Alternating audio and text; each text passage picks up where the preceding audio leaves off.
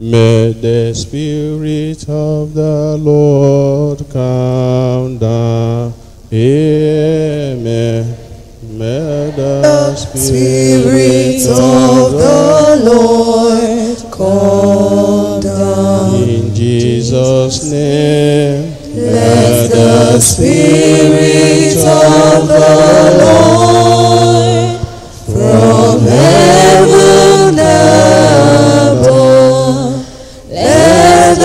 Spirit of the Lord come down. May the power of the Lord come down. Amen. May the power of the Lord come down in Jesus' name.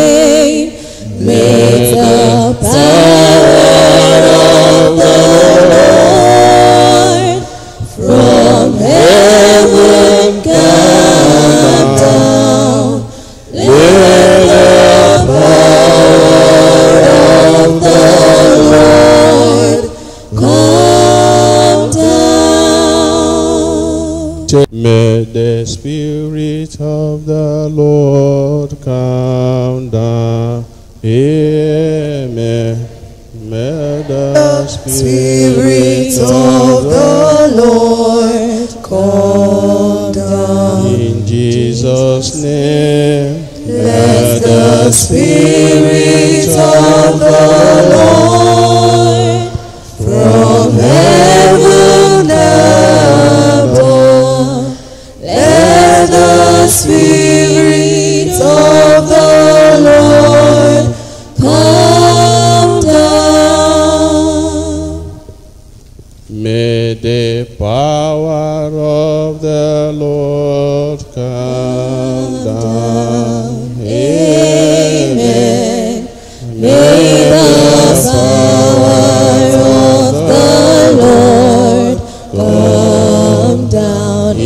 Jesus'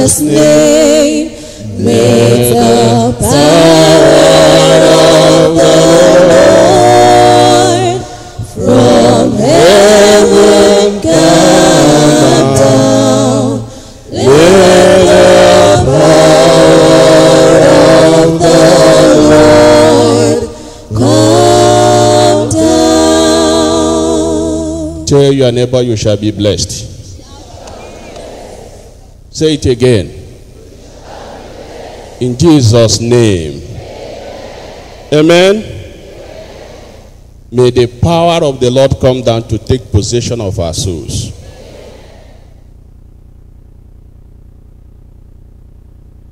The first reading you heard is taken from the prophecy of Isaiah, chapter 55.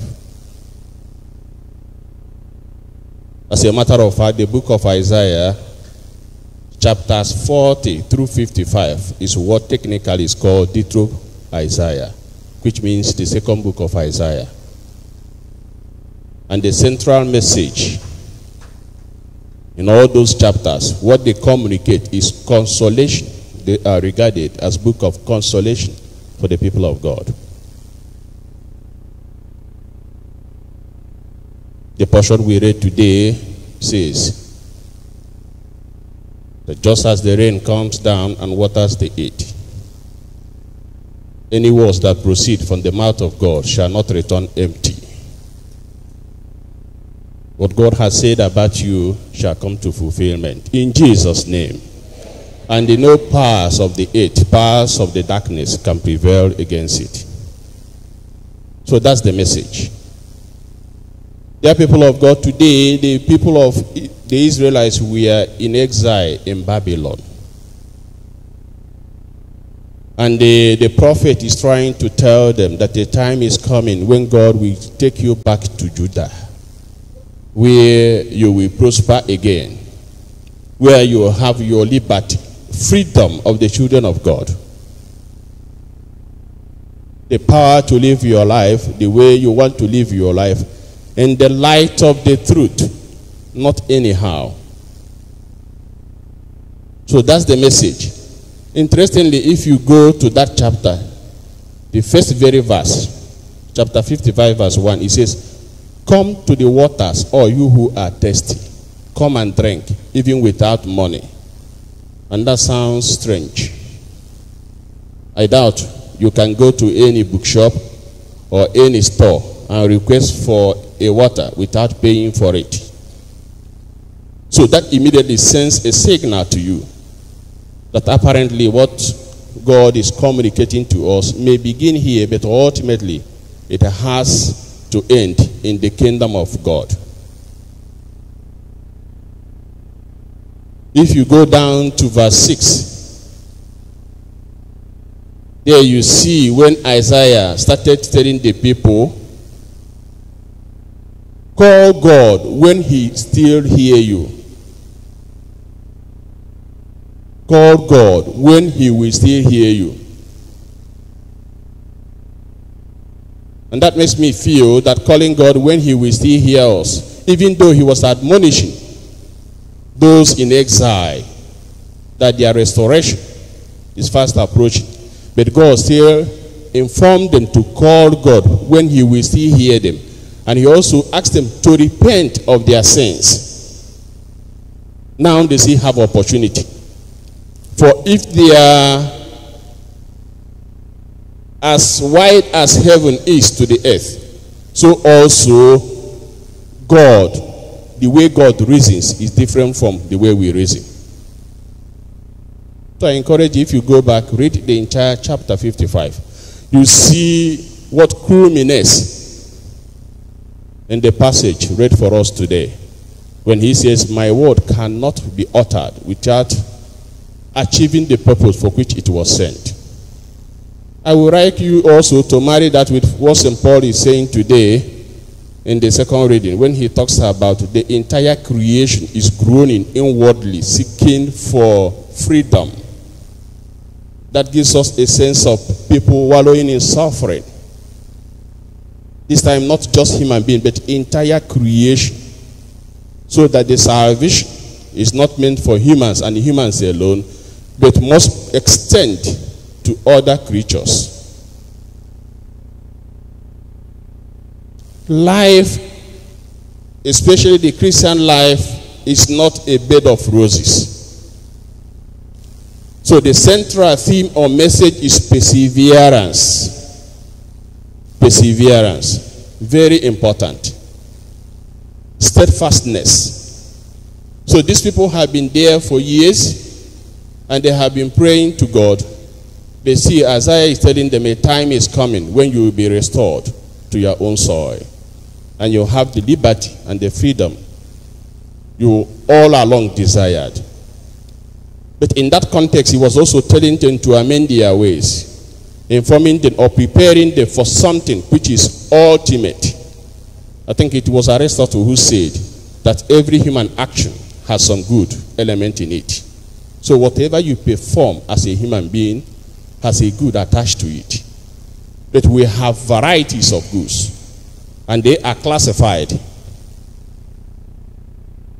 The lower goods cannot, if you are not careful, if you are myopic and fixated at the lower goods, that might prevent you from attaining the higher goods. And the ultimate good of every human person is eternity. So that's why whatever you acquire or you get in this life that will deprive you of eternity, you should be able to say, let the power of God and the Spirit of God destroy that in you. Today in the gospel, Christ is also solidifying the message, both from the first reading and the second reading. Our destiny is in our hands. The seed of the gospel has been sowed in you and in me. Some fell along the path, and the base of the ache came and ate them up. Some on the thorny soil, they grew and couldn't get deeper roots, and the, the, the, the crops withered away. Some fell on a fertile, rich soil, and they produced 100, 30, 50, as the case may be. So that seed has been sowed in us. It is left for you to water it, to nurture it, in order that you to be able to bear fruit, fruit that endures unto eternity. I repeat, whatever you are asking of God in this life that will deprive you eternal life, you better tell God, do away with that intention of mine. As a Catholic priest, I have ministered here for close to more than 17 years. And it is only once that somebody approached me at the Jubilee Hall with a single intention that I pray that he acquires the necessary grace that will help him to live a happy life and they attain salvation. Only once. But you could imagine how many intentions somebody or people requested from us for 17 years. Only one person knew that what really counts is eternity. For the grace to live life and attain heaven on the last day. So that seed has been sown in us. Is it bearing fruit in you? You are the only person to answer that question. If it is not bearing fruit, today can be a day of salvation. If you read Isaiah 25, it says, Come to the mountain where God is preparing a rich meal for everyone, for all peoples. So you must be able to climb that mountain in order to partake in that meal. And for you to be able to climb the mountain, you must amass energy, strength for yourself to be able to walk, to have the tenacity, to withstand the ordeal that might face you while you climb the mountain. It's not an easy meal, and it's not meant for everybody. It is only for those who can be able to surmount their difficulties, their challenges in life, that will be able to climb up there and partake of that meal. Meant for everybody, and the seed has been sowed in us. It is left for you to determine the course of action you want to take. If you decide to deprive yourself whatever that might deprive you of eternity, work towards achieving that goal. But if you want to be lazy in your spiritual life, if you want to not to yield any fruit, that like that like the the steward who went and hid the talent given to him on the soil and said, I know my my master is a hardliner. It depends on the way you use your talents. Use it well for the glory of God, and you will see that as Isaiah is forecasting of a day when these people will be vindicated and they resettled in the Holy Land. Similarly, wherever you depart from this earth, God will be able to accept you in heaven.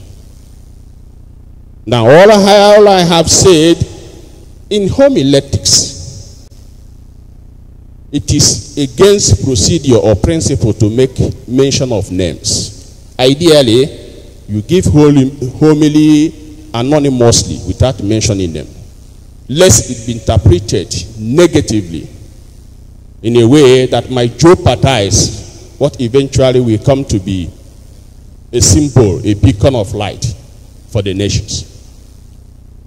Now, all I have said have been concretized here. This is just, this center started just like a mustard seed, which God planted in this part of the world years back with intention to achieve whatever Isaiah, St. Paul, and the gospel of today is telling us, which means perseverance, trying to mold people so that they persevere in their faith. Such that if you are coming here asking God for a life partner, for children, for money, name them.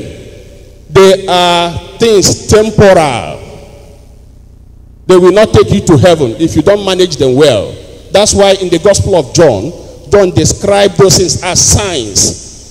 Signs are things that lead people to the appropriate place. They are not ending themselves.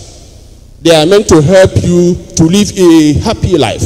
That's why anytime Christ heals somebody, you see that person will continue following Christ all the days of his or her life. So the aim is to equip you for eternity.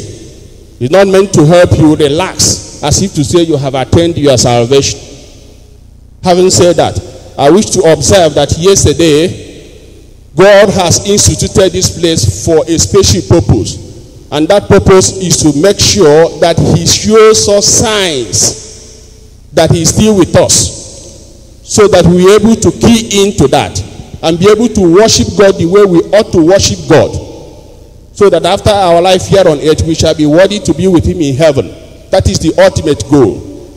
So if your primary and the ultimate goal of coming to this place is just to get a material help and devoid of any connection with heaven, I'm sorry, you are missing the mark. Yesterday, two persons gave us testimony when we were celebrating Mass in the morning, which I would like to share with you. The first person said that he has been trading and he was doing well. And when he was doing well, he was progressing his business. But suddenly, he has lived with his, his wife for so many years. And when he started, he discovered he was selling, but he wasn't seeing any money. Now he started asking questions, and people started telling him that the cause of your problem is your wife. One thing that man said yesterday that caught my attention was he said he never believed them because he knew he had lived with this woman for years. How come at this dying minute now the wife will be the person causing his problem? When he said that, people advised him to come to the pilgrimage center here. Like I said, like a mustard seed planted by God on this soil. And God has used it in various ways to help people. He came with that faith that I will get solution to my problem here.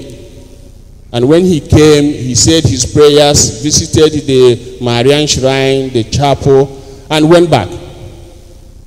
He said when he went back and started, didn't continue with his business, the reverse became the case. Remember, if he had said, yes, what people told me is correct, Satan would have sowed the seed of discord between him and the wife. But he neglected that, and because of that, he came here, said the prayers, went back, and God turned the whole thing around. And lo and behold, he started progressing, and the money started flowing. Not only that the money was flowing, those whom he used to buy goods from on credit now we are the people coming to him to buy goods on credit. A child of God, if you believe that, I know you can also share in that kind of God's intervention. The second person said, something happened and people forecasted to him that he has to buy a lamp so that they will take him to a place where they will do all sorts of things for him so that he will progress. Said no, he wasn't going to buy a ram to go to Odibia. So he was steadfast. He maintained his faith. He knew it was wrong to go to Dibia. And he maintained his faith in God. And when he sticked his neck, he said eventually, when they persuaded him so much, he bought the lamb actually. But instead of going to Dibia with it, he brought the lamb here deposited it here, said his prayers, and went back home. When he went back home, those problems for which people would have misled him into going to Dibias and doing things, awful things, God turned them around for his own good. I don't know why you are here if you are a pilgrim. It could be that you have a similar problem. But yes, God is telling us this morning that if you maintain your faith in Him, if you are steadfast in living your faith, all those who come here and testify of what God has done for them, you will also testify that future generation will glorify God. Ultimately, our aim is to go to heaven. The Lord be with you.